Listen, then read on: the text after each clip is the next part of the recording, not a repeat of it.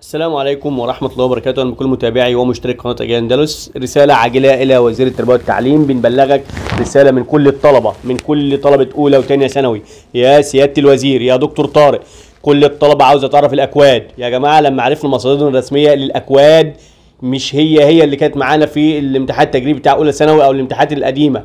لا الاكواد هتتغير هتنزل النهارده أو بكرة. وإن شاء الله هتنزل على ال link هسيبه لكم أسفل الفيديو اللي هو الاستعلام على رقم التعريفي للطالب لجميع المراحل التعليمية والأكواد والكلام ده كله هيبقى على موقع الوزارة. وأول ما هينزل أنا هعمل لكم فيديو مخصوص وأنزله عشان خاطركم.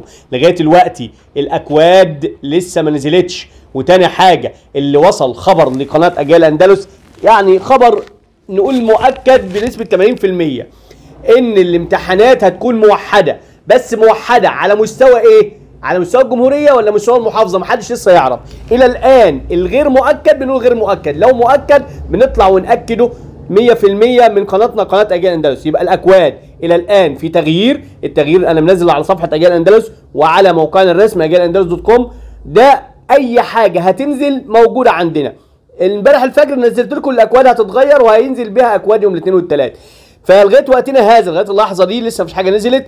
الأكواد هتنزل آه النهارده وبكرة والامتحان هيبقى يا إما موحد على مستوى الجمهورية يا إما موحد على مستوى المحافظة وده تبقى بشرى حلوة. يعني خبر كويس لما يكون الامتحان موحد هتبقى سهلة جدا بالنسبة للطلبات تكون كويسة جدا ما يبقاش في ضغط كبير على الطالب. فيا رب يجعل الخير دايما. لكل اولادنا إن شاء الله. ودايما صحتنا أهم من تعليمنا. ونتمنى من الدكتور طارق يطلع يوضح لنا الموضوع ده كله يوضح لأولى ثانوي لثانيه ثانوي لثالثه ثانوي. عاوزين حاجات تطلع تفرح الطلبة. زي ما زي ما سوريا امبارح فرحت كل الطلبة 4 مليون طالب فرحوا امبارح. زي ما السعودية فرحت الطلبة زي ما الكويت فرحت الطلبة. نتمنى من الدكتور طارق يفرح الطلبة كلها ويقول أبحاث بدل من الامتحانات أو لو ال system وقع اللي هيحصل لو الكهرباء قطعت اللي هيحصل. عاوزين ضمانات يا دكتور طارق.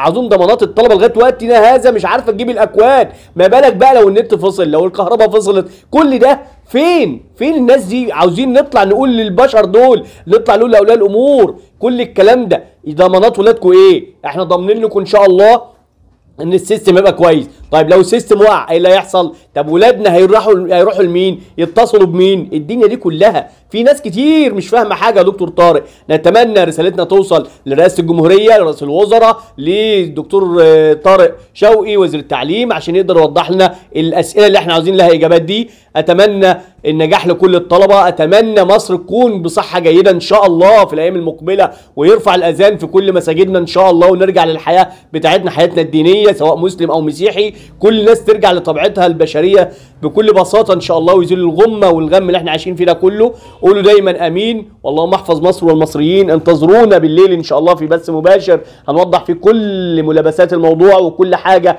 لقناتكم قناة أجيال أندلس. إيه اللي يخص الطلبة؟ هنعمل إيه في الامتحانات؟ في تسريبات؟ مفيش تسريبات في أكواد الدنيا ماشية إزاي؟ كل ده هيكون عندنا أول بأول في قناتكم قناة أجيال أندلس. انشر الخبر حتى تعم الفائدة واللي لسه ما اشتركش يشترك معانا في قناتنا اللي هي قناتكم قبل ما تكون قناتي. وفعل الجرس هتصلك كل جديد إن شاء الله. في أمان الله.